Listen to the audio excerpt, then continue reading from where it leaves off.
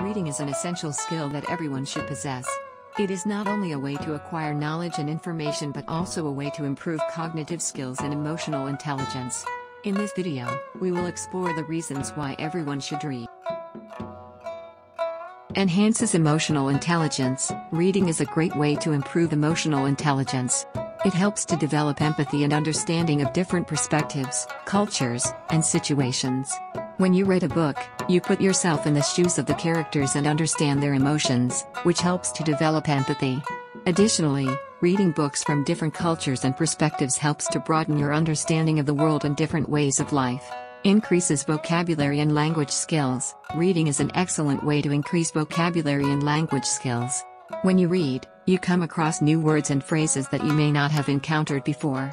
This helps to expand your vocabulary and improve your language skills. Additionally, reading helps to improve writing skills as it exposes you to different writing styles and techniques. Provides entertainment and relaxation. Reading is an enjoyable and relaxing activity that provides an escape from the stresses of daily life. It is a great way to unwind and relax after a long day. Additionally, reading provides entertainment and allows you to explore different worlds and characters. Access to a wealth of knowledge. Reading provides access to a wealth of knowledge. Books are a great source of information on a wide range of topics, from science and technology to history and literature.